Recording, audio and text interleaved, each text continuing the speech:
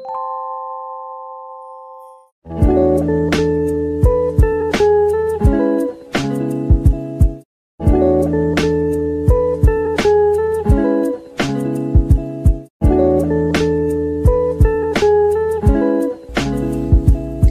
everyone, my name is Pia Gwen Nicole Roculas from BSN 111H and today I am going to demonstrate a hand gloving technique return demonstration. Now, to formally start, let us first know what is the definition of a gloves.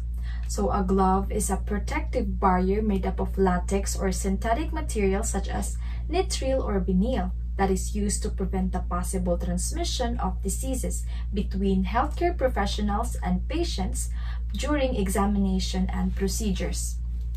Now, there are six purposes of gloving. The first one, gloves create a barrier between germs and your hands. Second one, wearing gloves helps protect both patients and healthcare workers from the infection. The third one, wearing gloves in the hospital helps prevent the spread of germs um, from one person to another. Fourth one, it helps keep your hands clean and lessen your chance of getting germs that can make you sick. The fifth one, it helps to reduce the risk of contamination of healthcare workers' hands with blood and other body fluids. And the last one, it helps to reduce the risk of germ dissemination to the environment and transmission from the healthcare worker to the patient and vice versa, as well as one patient to another. Now, there are safety considerations. The first one, you have to choose the right size of gloves. Gloves come in a multiple sizes. Make sure that the gloves are tight, um, tight enough so that objects are easy to pick up. Now, the second one, sterile gloving does not replace hand washing.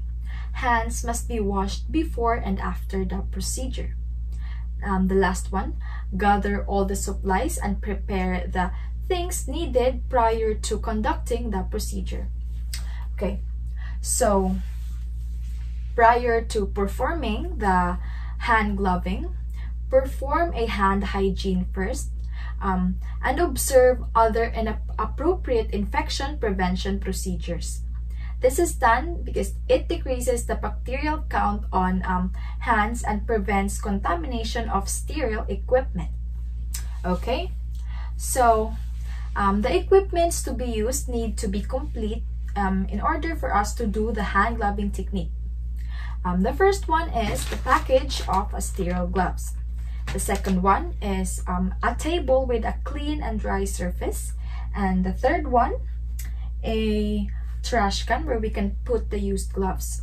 So preparation, ensure the sterility of the package of the gloves. So now I am ensuring sterility of the gloves. Okay. Uh, now remove all the jewelry. So I already removed the jewelry um, because I already did the hand washing and no artificial nails, extenders, or chip nail polish should be worn. And the last one, inspect hands for sores and abrasions, cover or report first um, cover or report to supervisor as required. Now, open the package of the sterile gloves without contaminating the inner package. And after that, place the package of gloves in a clean and dry surface.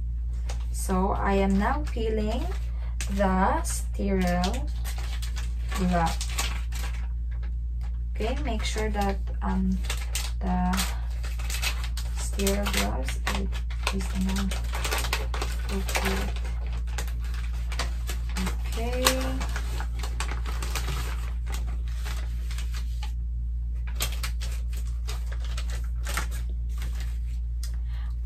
This is done because any moisture on the surface could contaminate the gloves.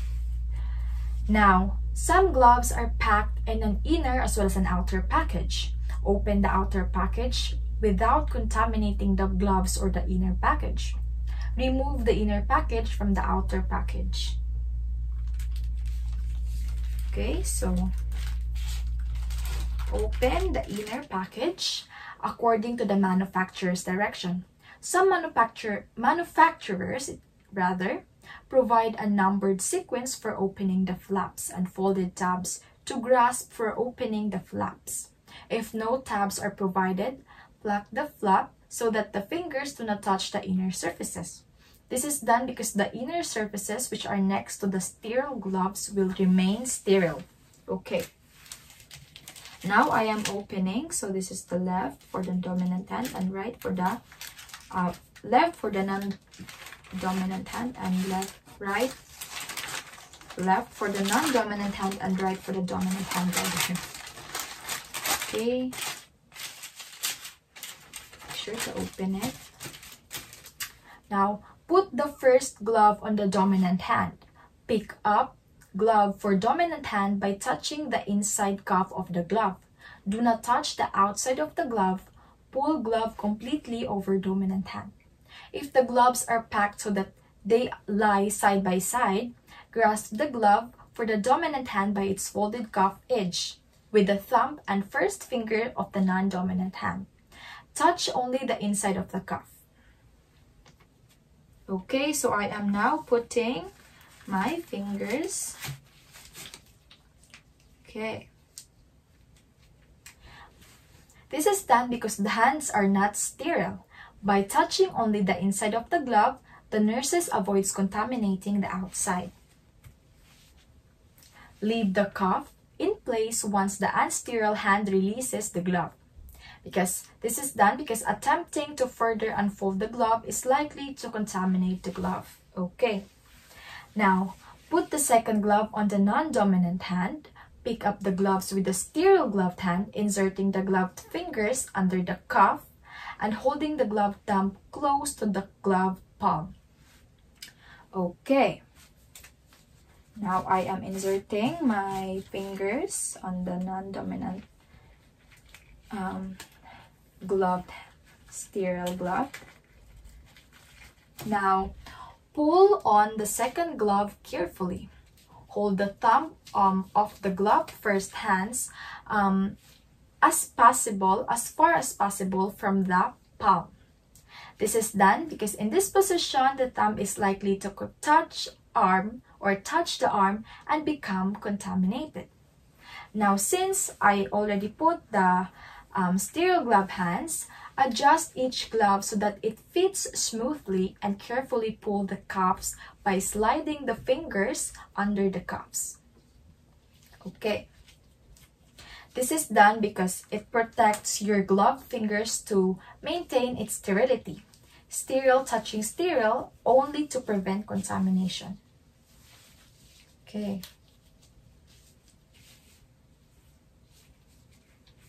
Once gloves are on, Interlock gloved hands and keep at least 6 inches away from clothing, keeping hands gloved um, keeping hands above waist level and below the shoulders.